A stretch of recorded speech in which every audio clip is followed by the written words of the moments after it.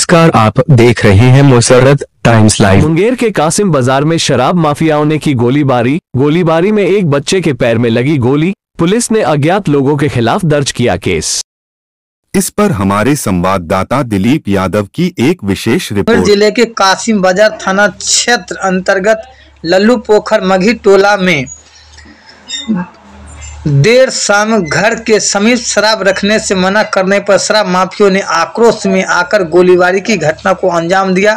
इस दोना दौरान पुणे साहनी का 12 वर्षीय पुत्र अमित कुमार की जांग में गोली लगने से वो बुरी तरह से घायल हो गया। परिजन द्वारा घायल को सदर अस्पताल में भर्ती कराया गया, जहाँ बच्चे का उपचार किया जा रहा है। घायल बच्चे के चचेरे भाई आनंद कुमार ने बताया कि पड़ोस में रहने वाले विनोद साहनी जी जो शराब कारोबारी है, देर रात की करीब आठ बजे उसके घर के पास शराब की बोतल छुपा कर रखा था। ऐसे करने से पुणे साहनी ने जब मना किया तो विनोद और उसके पुत्र विशाल और विवेक तथा विनोद की पत्नी रेखा देवी गाली गलौज करने लगे। गाली गलौज के बीच बीच विशाल कुमार ने पिस्टल से फायरिंग कर दिया। गली घर के बाहर खड़े पुणे सानी के बारह वर्षीय पुत्र अमित कुमार के दाहिनी जांग में जा लगी।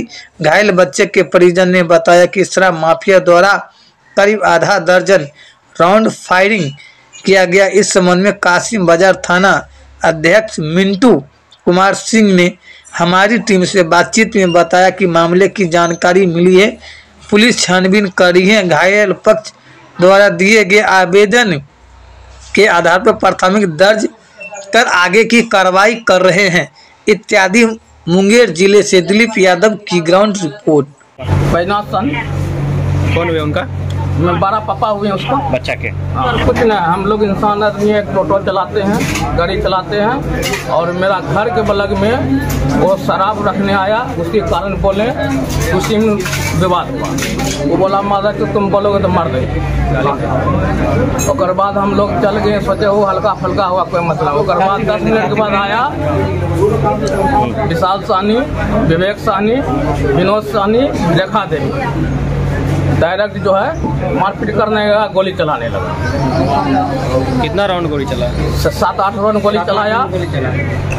उसमें जो है मेरा भतीजा के गोली पैर कहाँ पे क्या नाम कहाँ लगा गोली घर पर लगा पैर में। पैर में कहाँ पे लगा? दहना पैर में। तो क्या कोई विवाद विवाद? कोई विवाद नहीं भैया उससे कोई मतलब नहीं कोई विवाद कुछ न कुछ न पहले से ही बातचीत हो रहा था कुछ न एकदम माफिया है? पचास हज़ार के डेली दारू से लीक करता है। डर से कोई कई आदमी को पहले भी मारा है। गाँव में पहले भी कई आदमी को मारा डर से कोई नहीं बोलता है सर। क्या हुआ इनके? विशाल कुमार ने कुमार ने गोली मार दिया बच्चे कौन है विशाल कुमार? वो दारू माफिया है। दारू रोज बनाता है रोज बेचता है और सप्लाई भी करता है। कहाँ का रहने वाला है? लल्लू पोखर मनी टोला अच्छा आज क्या हुआ? आज आज सब घर में था सो रहा था। तो इस वजह से वो आया घर पे पहले बोला कि ये सब वो सब पहले से थोड़ा सा अति चल रहा था अंदर उस समय। तो घर पे आया तो धमकी उमकी दे के गया देर उसके बाद थोड़ा देर भी बाद भी फिर वहाँ पे मेरा भैया गया था तो उसको मारने लगा। तो मैं बचाने गया घर वाले इस वजह से गोली वो छूट गया था फिर।